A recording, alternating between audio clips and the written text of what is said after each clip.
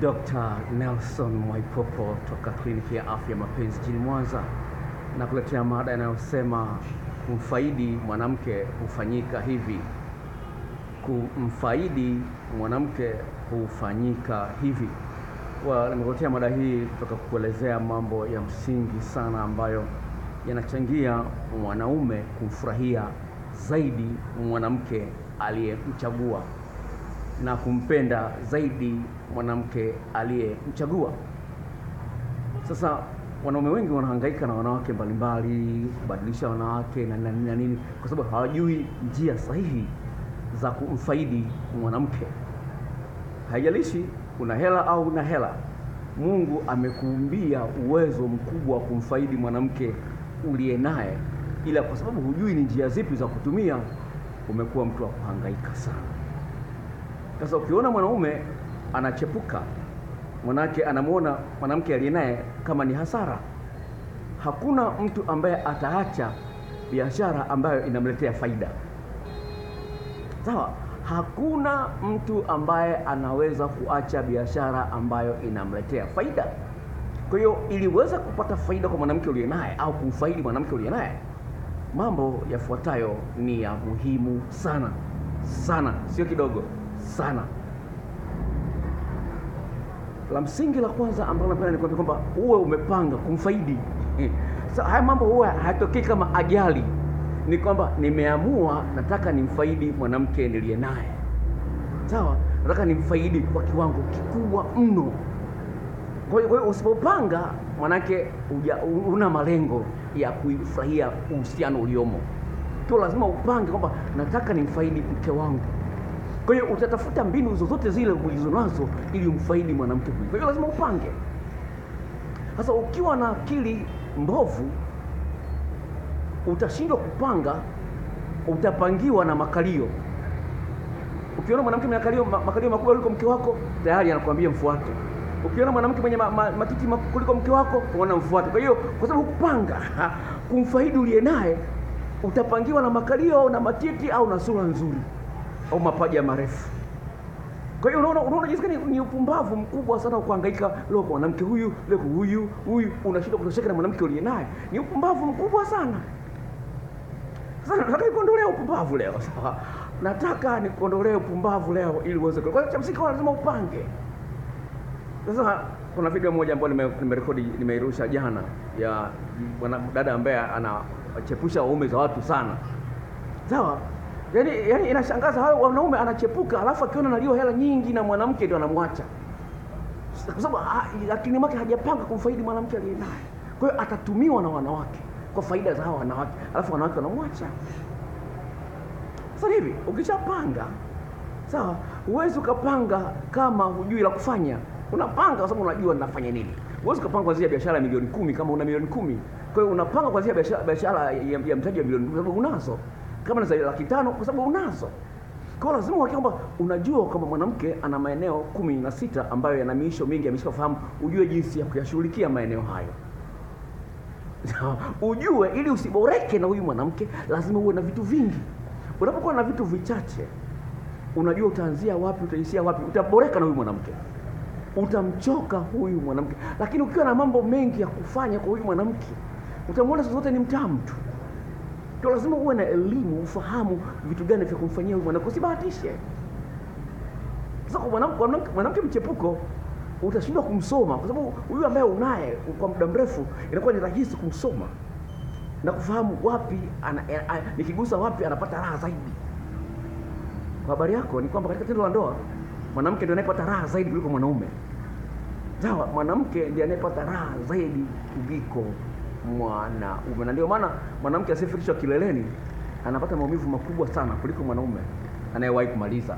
Sawa, kwa ni jambo la msingi sana ambalo lazima ufahamu jambo la kufanya. Lakini lingine ambalo nakwambia, uh, ulifanya uweze kumfaidi mwanamke uliye naye, nikisema angalia historia. Sawa, angalia historia katika historia yako na wanawake ambao ulishakuwa nao vitu gani ambavyo ulikuwa umevifurahia kwa wanawake uliokuwa nao, vile vitu vitumie kwa huyu mwanamke uliye naye ambaye unataka watu wakufa na kuzikana. Lazima chukua unajifunze kutokana na historia wapenzi uliokuwa nao. kama kuna makosa usiyarudie kwa mwanamke uliye huyu, kwa sababu makosa yanafanya ujisikie vibaya, na ukijisikia vibaya unaweza ukasababisha umlaumu huyu mwanamke kwamba huyu ndiye amesababisha ufeli kuenjoy to the full, ushindwe kufurahia kikamilifu. Lingine ambalo ndio tamu zaidi. Sasa hili sasa hili ndio kubwa kuliko yote. Naposikiliza hili ndio kubwa kuliko yote. Kuchelewa kumaliza ndio kubwa kabisa. Jinsi gani wewe unaweza kujichelewesha usimalize? Huyu mwanamke utaweza kufanya naye mapenzi katika mikao tofauti tofauti. Wakati uume bado unadai. Nazungumza from personal experience najua utamu gani wa kumbadilishia mwanamke mikao. Amekaa hivi unabadilisha hivi bado hujapizi mkao mmoja. Sasa lazima ufahamu njia za kujichelewesha nitakueleza hapo mbele. Hapo mbele nitakueleza kwa hiyo usiondoke. Jinsi ya kujichelewesha kwa hiyo nitakueleza hapo mbele kwa sababu ni, kitu ambacho nataka nikizungumzia katika uh, point fulani ambayo nitaileta hapo mbele. Sawa? Kwa lazima ufahamu jinsi ya kujichelewesha kuna kitu ambacho nimekizungumzia kwenye video fulani kinaitwa aging. Yaani unafika kwenye kwenye kwenye ukingo afu unajirudisha nyuma hiyo ni point ambayo inakuja hapo mbele. Kwa hiyo lazima ufahamu njia ya kujichelewesha. Lingine ambalo ni la msingi sana katika eneo hilo hilo la kufahamu jinsi ya kujichelewesha lazima ufahamu huyu mwanamke anahitaji kufundishwa.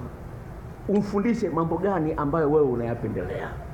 Kama unaona aibu pale ambapo anafanya kitu ambacho wewe unakipendelea. Msifie mwambie hicho hicho nakipenda alafu tena hata kama nje ya kitanda mko pembeni mnaongea mwambie jana ulinifanyia kitu fulani nimekipenda kweli wewe nakipenda kweli. Ili awe anakirudia rudia.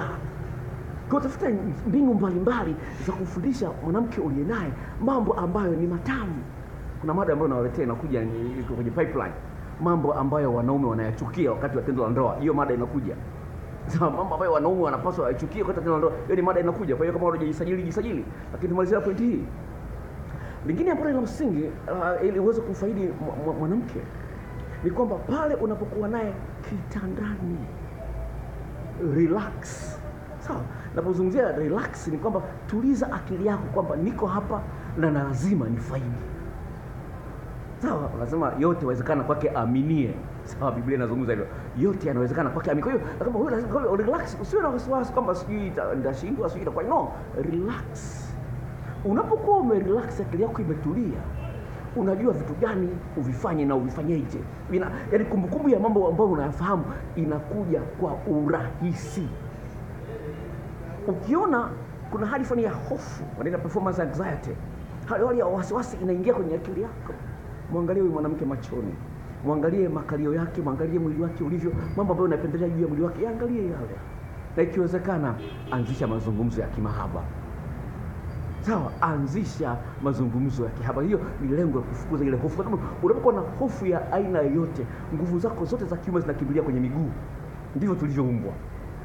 Akili haijalishi ni hofu ya kunguni au ni hofu ya nyoka au whatever it is inaamuru damu yote iende kwenye miguu ili ukimbie bila kujali ni hofu ya kitu gani. Kwa hiyo ili kupunguza hiyo hofu ilo jambo la msingi. Sasa nakuja kwenye pointi ambayo nimezungumzia mwanzoni. Kujichelewesha kumaliza. Sawa? Hili tatizo ambalo linawasumbua wanaume wengi sana. Kuna wanaume wengine wanaweza kupiga raundi hata tano lakini zote anakuwa amewahi kumaliza. Sasa kama tatizo ni kubwa sana nitapaswa nikupatie tiba. Sawa gharama yake ni shilingi elfu thelathini lakini kama tatizo sio kubwa uwezekano wewe kujichelewesha kumaliza ni mkubwa sana. La kwanza hakikisha unapumua kwa kutumia mdomo wakati ule wa tendo la ndoa wakati ume umesimama umesimama jitahidi kwa sehemu kubwa uwe unapumua kwa kutumia mdomo hilo nilizungumza kwenye kipindi cha Radio Free Africa, kaka mmoja Arusha akaipata akaitumia. Baada ya siku mbili akanipigia simu anacheka, anasema daktari, ilikuwa kwa- mpaka mwanamke anashangaa, ana mwanamke anamuuliza hivi, umekunywa dawa gani leo? Mke wake anamuuliza "Leo umekunywa dawa gani leo? Mbona umechelewa sana? Kwa hiyo upumuaji wanaita deep breathing ni, ni, ni wa muhimu sana kuzingatia katika eneo hilo kama una matatizo ya kuwahi kumaliza. Kwa hiyo pumua kutumia mdomo, hilo la kwanza. Na wale kwa, kwa wale ambao wenye vitambi, hilo ni jambo la msingi sana kulikumbuka. Sawa. Wewe wenye kitambi, kama tumbo lako limeshaanza kutoa kitambi, hilo la upumuaji naomba usiliache likariri. Ni la muhimu sana. La pili, jitahidi sana pale ambapo unaona unakaribia kupizi au kumaliza, lazima uwe una, tayari unatambua hapa nimekaribia. Hiyo ni tekniki naitumia mimi mwenyewe katika umri wangu miaka 56. Sawa. Kuna mahali hapa naichelewesha na kusema nafahamu kwamba sasa hivi nimekaribia kupizi, Napunguza ile ingiza ingiza toa moja, unapunguza hiyo. Namba mbili ndio hiyo ya upumuaji. Namba tatu nafanya kitu tofauti nitalamba sikio, nitang'ata sikio au nitang'ata hizi lipsi au nitaanza kumbusubusu au kumlamba maeneo haya. Yote hayo yanaleta continuation, yani, yani muendelezo wa kitu ambacho kinaendelea. Sasa mimi ninafahamu ninachokifanya, mwanamke hajui, yeye anaona kwamba hiyo ndio foreplay yenyewe, ndio utamu wenyewe unavyotengenezwa, kumbe mwenzie najichelewesha. Hilo lingine lingine ambalo litakusaidia ili uweze kumfaidi mwanamke mara nyingine inaweza kuwa inatokea. Umo ndani, uume wako huko ndani, lakini unaanza kuishiwa nguvu wakati uume huko ndani. Sasa hii inawapunza wengi. Uume ukishaweza kupungua tu nguvu uko ndani, ana panic, anafeli mwanamke, analia sana, hata kuambia, lakini moyoni mwake ameumia sana, kwa sababu umeshamtoa kwenye pointi sifuri umefikisha kwenye kumi na nane. Kwa sababu mwanamke ile afikie kileni ni pointi ishirini. Alafu unaishia nguvu kwenye kumi na nane. Inaumiza sana kwa wanawake wengi. Kwa hiyo unapoona kwamba uko ndani, kuchikuchi imeenda vizuri, mwanamke tayari ameshapata spidi na uume unataka kuishiwa nguvu kwa ndani, tafuta engo ndani ya uke ambapo kichwa kinapata msuguano. Kwa hiyo kuna jinsi gani ya kujikalisha, kujikalisha ili, ili, ili kile kichwa kipate msuguano. Tafuta eneo au mkao ambao unajua kwamba lazima kichwa kinapata msuguano. Kwa hiyo hata kama uko juu ya mwanamke, mwanamke uko chini amelala na wewe uko juu, kuna njia fulani ya kuji ya, ya, ya, ya kujipinda ili kutafuta msuguano kwenye kona yote ya uke ndani kule. Mimi njia naitumia ni kwamba uume huu sawa, uume na unaubongesha juu kule unausugulisha kule juu unausugulisha kule juu, ukipata msuguano inapata chaji, inaongezeka nguvu. Au nyingine ambayo ni, ni, rahisi, kama unaweza unapoona kwamba unataka kupizi, wakati unajua kwamba mwanamke hajafika kileleni, mwambie mwanamke abane miguu akibana akibana ume ume ukisuguliwa unapata chaji. Hayo ni mambo ambayo unaweza kuyafanya katika kona mbalimbali, mikao mbalimbali.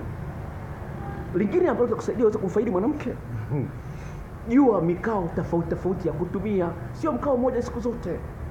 Nao video clip ambayo inaonyesha mikao mbalimbali ya kutumia katika tendo la ndoa. Nao video clips ya maeneo kumi na sita katika mwili wa mwanamke naweza kukutumia na mambo mengine ya msingi ya kumfanyia mwanamke wakati wa tendo la ndoa. Hayo yote yako kwenye video clips. Gharama yake wala sio kubwa sana, shilingi elfu kumi tu. Umelipia ngapi guest? Sawa, umelipia ngapi guest? Sawa. Kwa wale ambao nimeshawatumia video hizo, waambieni marafiki zenu, na wale ambao wananikandia kandia kwenye YouTube, wale ambao wamefaidika na hizo video clips, naomba muambie ukweli jinsi gani zimewafaidia.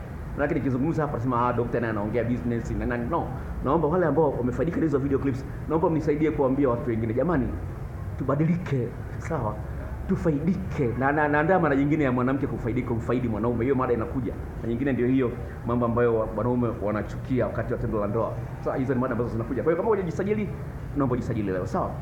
Eh, kuna kibox chekundu pale kimeandikwa subscribe kwa maandishi meupe. Bofya kile kibox chekundu pale chini, utapata taarifa kwa njia ya YouTube, kwa njia ya uh, YouTube na kutumia message kwa njia ya simu yako uweze kufahamu. Sasa hizo video clips nakutumia kwa njia ya Gmail kama una WhatsApp, Gmail unayo, nipigie simu nikwambie Gmail iko wapi. Sawa, nitakupa namba yangu hivi karibuni. Lakini kwa namba unaangalia video hii kwa mara ya kwanza, na video nyingi kwenye channel hii, sawa? Ili uweze kufaidi, chukua jina ambalo linabeba channel hii. Jina ambalo linabeba channel hii inaitwa Paul Mwaipopo. Chukua jina hilo, liandike pale juu, bofya, zitakuja mada zote karibu mia tano uweze kuzifanyia kazi. Jifunze mambo mengi tofauti yatakuboresha mahusiano yako. Namba yangu ya simu ni hii ifuatayo, na hii namba hii iko WhatsApp vile vile. Namba ni hii ifuatayo: sifuri saba tano nne sifuri tatu tisini na tisa tisini na nne. Tarudia sifuri saba tano nne sifuri tatu tisini na tisa tisini na nne. Nitakuandikia hapo chini ya namba ili tuwasiliane. Ukitaka ushauri kwa njia ya simu, kuna gharama yake shilingi elfu tano. Ushauri kwa njia ya simu shilingi elfu tano na kwa watu wa Kenya ni shilingi mia mbili hamsini. Video clips hizo shilingi elfu kumi. Watu wa Kenya video clips ni shilingi mia tano. Tuwasiliane kwa namba hiyo tuweze kusaidiana. Nitakupa namba ya simu. Kwa namba, kwa watu wa Kenya namba ya M-Pesa sio namba sio haikubaliki sana kwa watu wa Kenya, lakini kwa Tanzania inakubaliana. Kwa watu wa Kenya na namba maalum kwa ajili ya watu wa Kenya. Kwa hiyo tuwasiliane, nikupe namba ya simu ambayo unaweza kutuma M-Pesa kwa njia ya Safaricom. Nikutakie maisha mema. Namba ni 0754 03 9994 0754 03 99 94 na Mungu akubariki. Kwa heri.